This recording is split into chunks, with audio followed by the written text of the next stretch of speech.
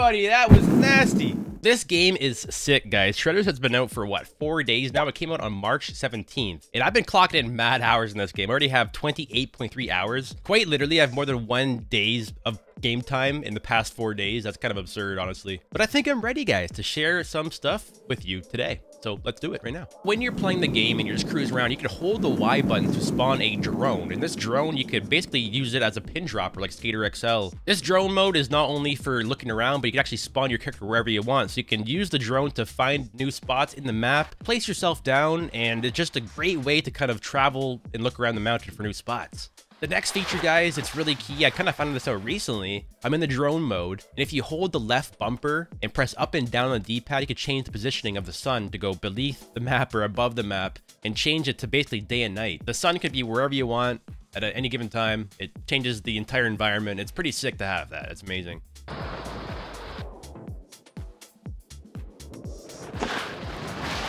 One of the biggest questions I've been getting is how to spin and flip faster in this game. I think even with my tips, you have to practice just a little bit, but all it comes down to is timing, really. But the mechanics of actually flipping faster is very easy, and all it requires is you to grab quickly.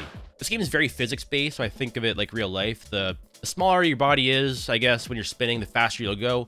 So essentially, the quicker that you grab after you do a flip or spin, the faster you guys should spin. Another question I get a lot is how do you do a tail and nose press? This is pretty simple. It's in the game. You hold the left trigger and you press up or down on the right stick and that'll allow you to press your nose or tail. Now from there, you can also use the left stick to steer your body. So you can press left and right to kind of spin your body around as you're doing a tail press or nose press. Or you can press up and down on the left stick to actually get more of an angle. So assuming that you know how to tail and nose press already, guys, you could actually do tricks into uh, a tail and nose press and out of them as well. There's a few ways you can initiate a butter. You can kind of flip into it and do whatever you want, but I find a really consistent way to do it is to carve into it. Go at like a 90 degree angle, then you can press the pop button, and this will allow you to spin around 180, and that should initiate a good position for a butter, so you can nose press and tail press. Then from there, guys, when you're holding a nose press, you'd actually pop out of it and pre-wind out of it too. You got the left left trigger press, you got the sticks up, you got the left stick up as well. You can actually start holding the right trigger. And when you're holding all these four inputs, you can pre-wind it and do the same thing that you would do for the fast spins and flips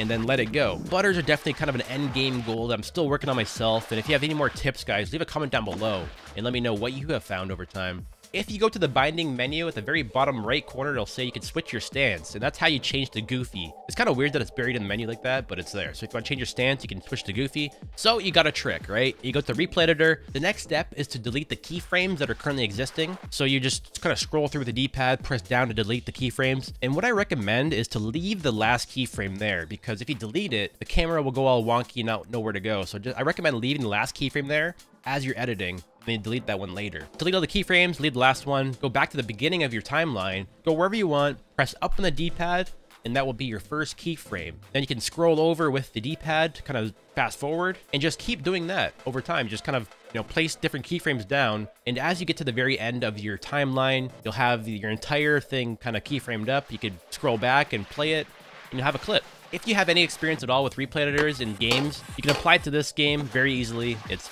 fairly simple to figure out. And if you haven't filmed before, this game is the perfect one to start off with because it has the simplest replay editor I've ever seen. So the last thing I want to mention, guys, is you can actually install mods in Shredders already. I've been making clothing and boards and stuff, and I have them all posted in my Discord. You can download them and install them there. There's also a new Shredders modding Discord that got me all started and stuff with tutorials. So if you want to figure out how to install mods and make your own mods for Shredders, basically just clothing right now. We don't have any script mods yet. They might be coming soon. I don't know. I really can't wait to see where the mods can take us and where this game goes with official updates. It's gonna be sick. If you guys have any questions or you want to hang out or just find out more about Shredders, come hang out on Twitch, guys. We're still in the honeymoon phase of this game, guys. It's amazing. We're still learning every single day. It's amazing. Anyways, guys, I hope you're all enjoying the game as much as I am, and I'll catch you in the next video. Later.